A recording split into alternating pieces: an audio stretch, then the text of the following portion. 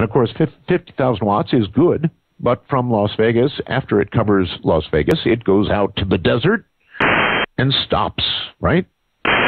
You know, it, you can only go so far in the desert even with 50,000 watts. So after about six months, I knew this is what I wanted, Eric. And uh, I went to my wife at the time and I told her that I was going to give up this really well paying job. And I was going to go and be on the radio. Well, she that kind of did in my marriage, Eric. She she thought I was absolutely out of my mind. I mean, I had a high paying job, every benefit you could imagine, lots of security. I had built the, the cable company. And I went to them and told them I was going to walk away, uh, begin working, well, not for peanuts, but peanuts for less. Uh, not, not, it would be peanuts plus not much. Um, and she she thought I was crazy, and ultimately, uh, you know, that cost me the marriage. Uh, but I went to work for KDWN, and every minute I was there, Eric, I had my eye. You mentioned the nighttime. I had my eye on the nighttime because while 50,000 watts goes out and covers, you know, Las Vegas, which is great, uh, after that it's just cactus. But, aha, at night, even though slightly directional, KDWN covered 13 states at night. 13 states. So that, that would be regarded as a clear channel station, right? Uh, as close as you can get. There really aren't any exact clear channels left, but yes, uh huh, that's right. And um, every night at sunset, we would have to uh, throw a couple of switches and go directional. I think we were protect, protecting uh, WGN in Chicago. Uh, by the way, Eric, I I can't tell you how many nights I came within. I actually had my finger on the button. I I, I worked at KDWN, Eric, for a total of ten years. I worked uh, late nights.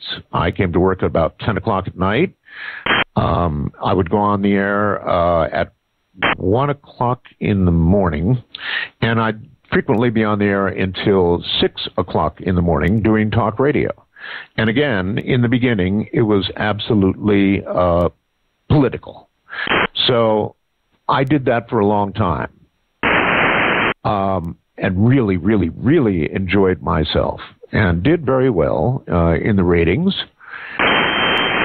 But I, just for the hams out there, I thought I'd tell you, Eric, there were about 10 or 15 times that I actually went over to the console put my finger on the switch that would turn us non directional because I wanted to see if I could get calls from other parts of the country.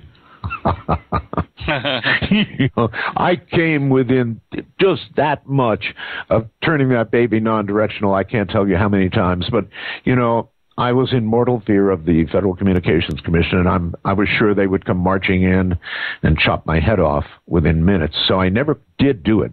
I'm kind of still sorry I didn't, frankly.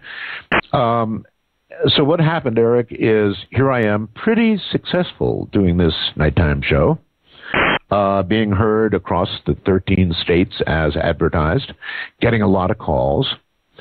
And one day I got bored with politics said, ah, not another night, not another five hours of politics. Oh, no. So I had a friend. Uh, you may have heard the name or know the name Lear, um, as in Learjet. Well, John Lear is the son of the man who put together and owned Learjet, John Lear. And John has some unusual ideas about virtually everything, including UFOs, including um, Area 51 that I'm very close to uh, as I speak to you right now, uh, and the things that have gone on out there. So I thought, you know, I wonder what will happen. Now, now, bear in mind, the owners of KDWN were conservatives.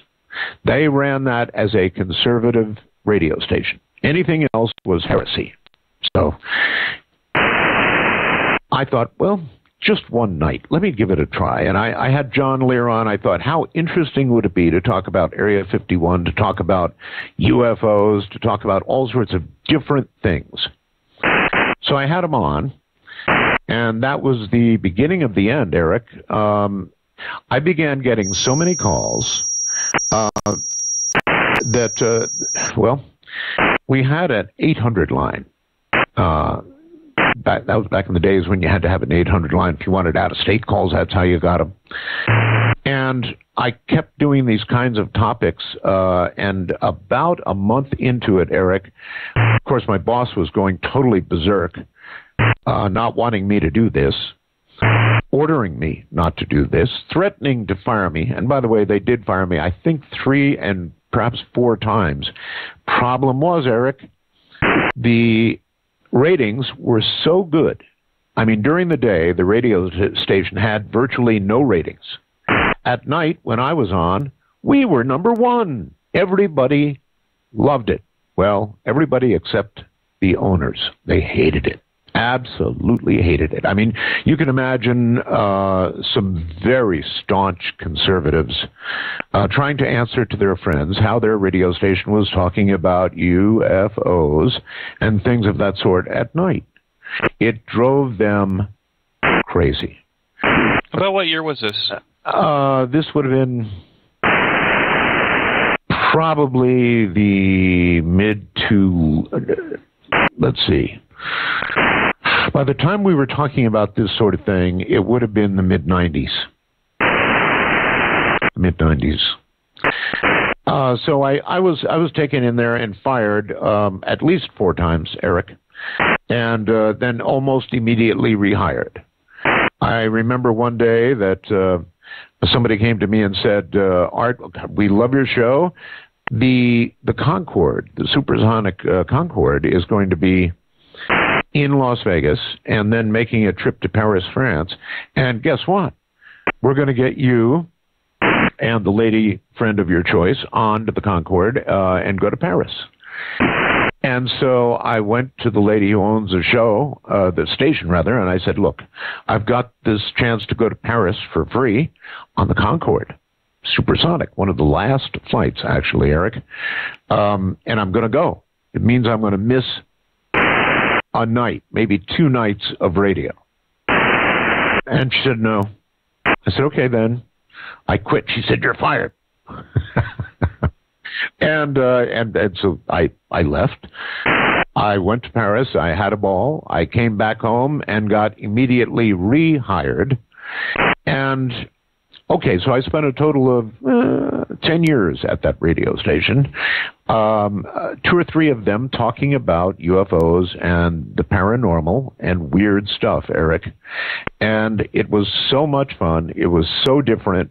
And from that, I began to get uh, syndicated. You know, I began to suddenly show up in Phoenix. Um, I had a fellow who syndicated me, so I then I was in LA. Then I was uh, in Seattle. Then I was in Portland.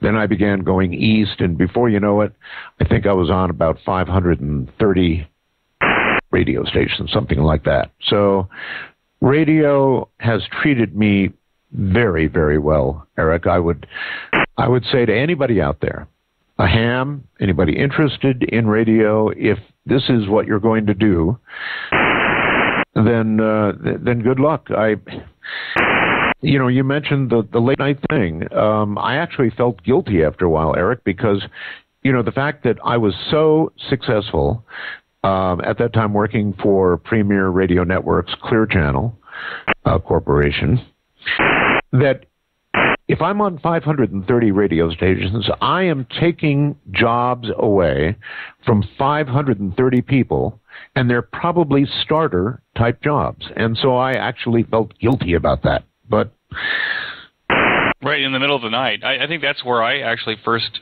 heard you was um, I used to fly into cable systems that I operated in the Midwest in the 90s, and um, would have to drive from like the St. Louis airport, you know, out into uh, Indiana or or uh, Illinois. Oh yeah. And uh, you, and there were there you were there you know, on the radio in the middle of the night. Yeah, there I was indeed, and um, so I guess people can look me up on QRZ, but I'm still at this time a very, very active ham.